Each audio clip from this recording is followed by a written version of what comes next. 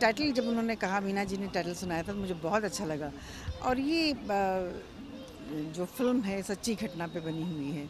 ये जो कुछ भी इसमें आप देखेंगे, इसमें वाकई में बाप बेटे ने कैसे किया है, उनको हमारी इंडियन पुलिस ने कैसे पकड़ी, उसके बारे में। पहले जैसा नहीं है, अभी तो बहुत चेंज हो गया है, वो तो आप देख ही रहे हैं। तो शॉर्ट फिल्म्स आजकल बहुत ज़्यादा बन रही, वेब सीरीज़ बन रही हैं, जो भी मैं भी कर रही हूँ, और अच्छा लगता है। फ़िलहाल तो अभी कुछ ऐसा नहीं है, लेकिन अगर मौका मिला तो करेंगे, लेकिन ना करें तो बेहतर है, क्योंकि सूरज अपना करे, मैं अपना करती हूँ, आदित्य जी अपना करते हैं इट्स फाइन हर एक का वोट बहुत कीमती है, और किसी को भी घर में नहीं बैठना चाहिए, वोट करना चाहिए, क्योंकि ये हमारा हक है, उसको हम, हमें किसी और को नहीं देना चाहिए। अपना हक है, हमको करना बहुत ज़रूरी है। इसमें ज़्यादातर लोग जो हैं वो कलकत्ता के शामिल हैं। हीरो भी ये कलकत्ता का ही है, हीरोइन भी कलकत्ते की है, हीरो भी कलकत्ते का है, विलन भी है तो डायरेक्टर भी है डीओपी भी है, सारे लोग हैं anyway thank you to all और मुबारकबाद मीना जी, फिर से. ये बहुत अच्छा पोस्टर है और इन लोग पोस्टर देख आपकी फ़िल्म देखने ज़रूर जाएँगे. Hundred thank you to So, big round of applause. Can we have a big round of applause for MS Films Productions and Rohan D Pathak, the music directors of the films sir, पहली बात तो ये है कि ये मेरी Debbie movie है, जिसमें मैं नेगेटिव रोल प्ले कर रहा हूँ। इस किरदार को निभाने के लिए मेरे जो डायरेक्टर है, मिस्टर राज घोष, उन्होंने मुझे पहले स्क्रिप्ट पढ़ाया था इसमें।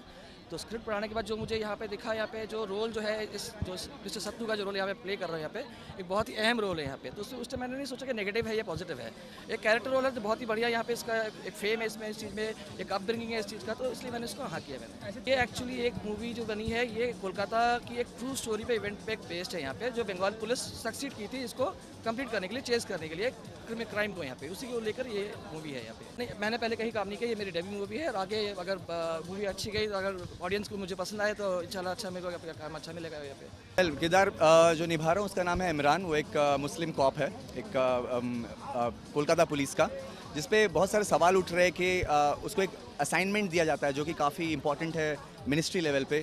और उस पर सवाल उठ रहे हैं कि वो जैसे आपने ट्रेलर में सुना होगा कि कॉम के बारे में कि वो एफिशिएंट नहीं है। तो उसे, ये, वो एक पूरी फ़िल्म में इस प्रेशर में है कि उसे अपने आप को प्रूव करना है। उसे दिखाना है कि वो एक ईमानदार कॉप है, जिसके लिए उसे पिक किया गया है। फिर भी सेकेंड डाउट्स आ रहे हैं उस पर तो मैंने काफ़ी इन्जॉय किया बिकॉज़ मुझे एज अ पर्सन मैं पर्सनली मेरे काफ़ी मुस्लिम फ्रेंड्स हैं जो इन, इस तरह के वारदातों मतलब फेस करते हैं इस तरह की चीज़ें जिन जो उन्होंने उन्हें उनकी जात की वजह से उनके उनको उनसे अलग से ट्रीट किया जाता है। तो मैंने ये रोल निभाया मुझे बहुत अच्छा लगा। मेरे मैंने अपने मुस्लिम दोस्तों को बताया कि ऐसा रोल था। काफ़ी चैलेंजिंग था और काफ़ी अच्छा था। मुझे बहुत मज़ा आया। ये एज अ हीरो मेरी डेब्यू फ़िल्म है। आ, मैं आ, मैंने बंगाली फ़िल्म का कुछ किए हैं। तो एज अ हीरो बॉम्बे की मेरी पहली फ़िल्म है और इसलिए ऑब्वियसली एक्साइटमेंट बहुत ज़्यादा है। और because this is the place way it is to be हाँ पुलिस का रोल देखिए एक्चुअली uh, जो ये एंग्री यंग मैन जिसको अपने आप को दिखाना है अपने आप को प्रूफ करना है इस तरह का रोल मैं अपने आप से बहुत रिलेट कर पाता हूँ। Uh, यानी गुस्सा जो uh, उसके टैलेंट पे उसके एडिबिलिटी पे जो सवाल उठ रहे हैं ये जो गुस्सा है वो मैं फील कर पा रहा था कि क्योंकि मैंने देखा है ऐसा आ, मैं दूसरे लोगों के साथ होते हुए तो ये मैंने, मुझे बहुत ज़्यादा तैयारी नहीं करनी पड़ी, क्योंकि डायरेक्टर जो है साहब हमारे हैं, उन्होंने काफ़ी लिबर्टी दी है मुझे काम करने की, बहुत फ्लेक्सिबिलिटी दी है मुझे ये काम करने के लिए, कि कभी उन्होंने एग्जैक्टली नहीं कहा कि ये करना है, वो ऐसे करना है, वैसे करना है। मैंने जैसा काम करना चाहा, मैंने एग्जैक्टली वैसा किया है तो इसके लिए I am really thankful to him exactly exactly, ये जैसे आपने देखा ये सत्य घटनाओं पर आधारित है। It's it's inspired by a real story unsung heroes Jin heroes के बारे में किसी को नहीं पता इतना बड़ा ऑपरेशन हुआ था कैलकाटा पुलिस के साथ इतना बड़ा ऑपरेशन का अंजाम दिया था कैलकाटा पुलिस ने। And but nobody knows about it so there so many cops who actually carried out this operation but nobody knows about them so उनसे इंस्पायर्ड होकर ये स्टोरी बनाई गई है। और uh, मुझे लगता है कि ऐसी स्टोरीज़ बननी चाहिए और बिकॉज़ ऐसे अनसंग हीरोज़ पे। The strength of this movie actually है कि uh, इसकी स्टोरी में जो है मेनली हम uh, मैंने पहले भी uh, कहा कि ये total based on Bengal police है। और मैं बंगाल पुलिस भी नहीं बोलूँगी मैं मैं पुलिस डिपार्टमेंट को बोलूँगी कि वो लोग जितना बड़ा भी क्राइम हो उसको किस तरह से हैंडल करते हैं और ये पूरी चीज़ मेरे को ना एकदम दिल में छू गई कि अगर हमें समाज के लिए हम कुछ भी करना चाहें तो this is the best part this is my first movie and first Hindi movie है और मैंने कभी भी, मैंने मूवी बनाई नहीं है क्योंकि मैं बेसिकली एक एडुकेशनिस्ट हूँ।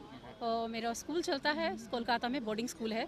तो लेकिन हमेशा मन में था कि कुछ करना चाहिए। जैसे हम स्कूल चलाते हैं तो सोसाइटी के लिए, बच्चों के लिए करते हैं। तो हम चाहते समाज के लिए भी कुछ करें तब जब मेरे पास ये स्टोरी आई तो मैंने इसको दो तीन बार सुना बहुत अच्छी तरह तब मैंने डिसीज़न लिया and the director was so good उन्होंने इतना कुछ बताया and I really like it और मैंने आगे बढ़ गई।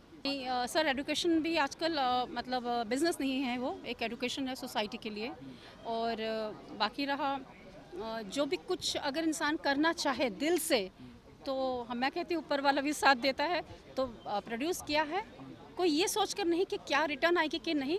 बस करना था और अच्छी लगी स्टोरी बस कर दिया। एक अभी सोचा है, सोच रहे हैं प्लानिंग पे हैं कि एक इसी तरह से कोई अच्छी समथिंग डिफरेंट कुछ स्टोरी बनाएँ और उसकी बहुत जल्दी है कि शायद इस एंड साल के एंड तक एक प्लानिंग है। देखते हैं कहाँ तक सक्सीड करते हैं।